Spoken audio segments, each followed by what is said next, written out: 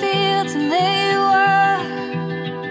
Under starlit atmosphere and for